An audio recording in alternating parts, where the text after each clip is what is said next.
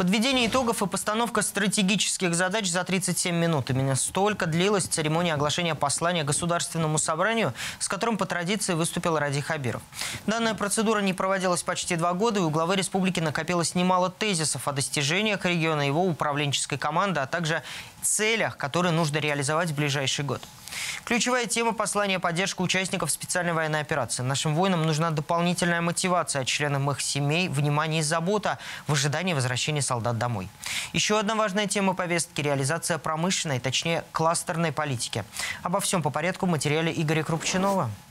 Ежегодное послание главы региона депутатам Государственного собрания, по сути, представителям каждого из 4-миллионного Башкортостана, длилось 37 минут. Обращение звучало в условиях режима базовой готовности, объявленного в большинстве российских регионов. И начало речи связано с участием республики в СВО по демилитаризации и денацификации Украины.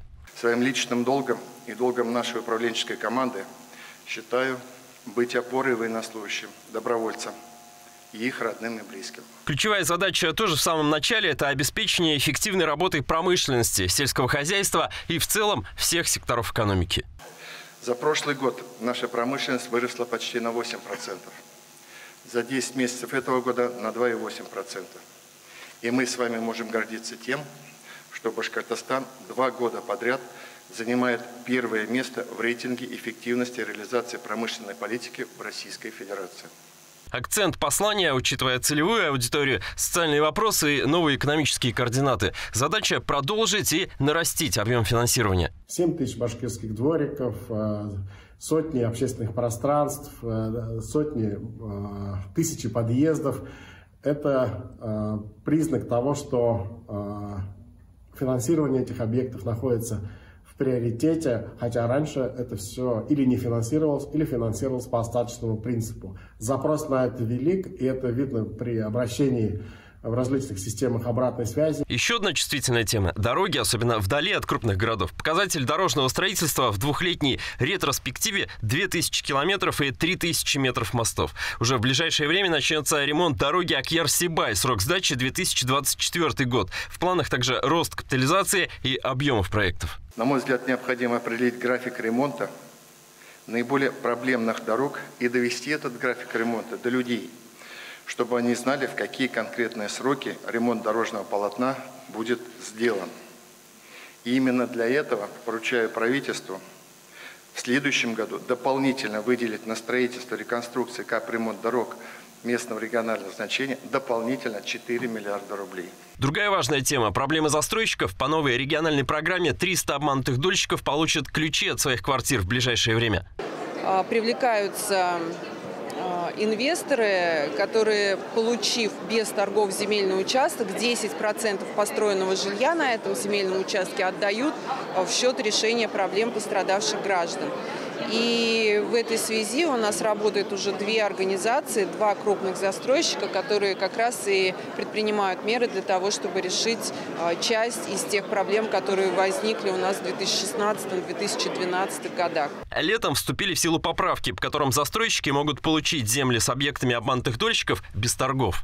Мы всегда в тесной взаимосвязи работали, действовали, всегда отслеживали необходимость адекватного применения наших законодательных инициатив, наших правовых норм, как раз в интересах такого эффективного юридического сопровождения тех инициатив, которые исходят от главы республики, исходят от правительства. В другом блоке послания экономические параметры роста. Объем жилищного строительства в этом году 3 миллиона квадратных метров. Выступая перед законодательным собранием, Ради Хабиров остановился на поддержке крупных проектов, таких как Уфимское Забелье и Кузнецовский Затон. Комплексное развитие – это миллиарды рублей для коммунальной, дорожной и социальной инфраструктуры. В промышленности тренд на кластерную политику и собственные научные разработки, в том числе для импортозамещения. 23 башкирских предприятия уже заместили импортную продукцию, поставляемую для «Газпрома».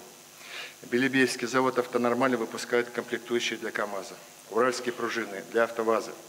Республиканские компании, входящие в структуру Ростеха, участвуют в производстве узлов и агрегатов для самолетов «Сухой Суперджет», «Сотый» и МС-21.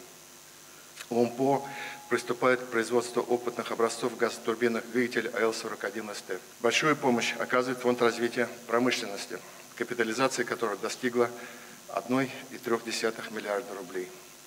И мы на следующий год еще увеличим финансовую поддержку за счет регионального бюджета на 200 миллионов рублей. 5 миллионов тонн зерна – последний урожай в Башкортостане. За 4 года в парке сельхозтехники плюс 12 тысяч новых машин. Малое машиностроение аграрного профиля, 150 наименований, собственных моделей и больше 3 тысяч деталей к ним. Современная техника, цифровизация, развитие науки и эффективное проектирование. Эксперты взвешивают аргументы в пользу развития сельского хозяйства. Решение поставленной задачи устойчивого поддержания сбора урожая на уровне 4-5 миллионов тонн ежегодно может быть решена только комплексно, экстенсивным и интенсивным способом.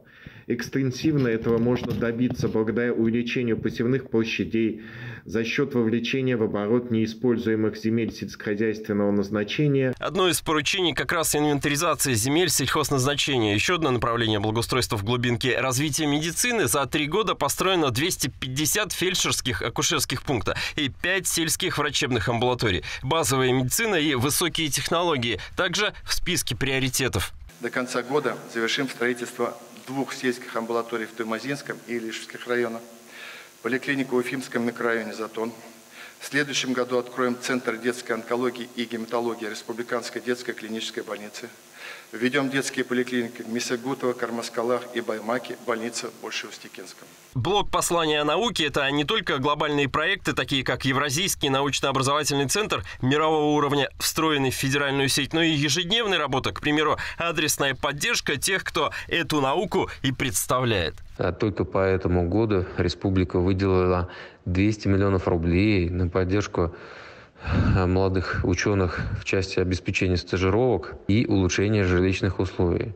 Причем сумма на улучшение жилищных условий, допустим, в нашем ВУЗе минимальная сумма 500 тысяч рублей, а максимальная, которую получают молодые Э, преподавателей, молодые исследователи, 2 миллиона рублей. Среднее и общее образование. К примеру, 188 новых мастерских на базе 60 колледжей. Капремонт еще 90 СУЗов. Строительство и реконструкция школ. За 4 года в этом списке 113 учебных заведений. Заметная деталь – увеличение в следующем году числа грантов молодым сельским учителям до 150. Поддержка бизнеса в приоритете на 49% больше самозанятых, на 17 социальных предпринимателей. По сравнению с началом года, за 9 месяцев малый и средний бизнес перечислил в бюджет 11 миллиардов рублей. За последние два года много что с предпринимательства было сделано.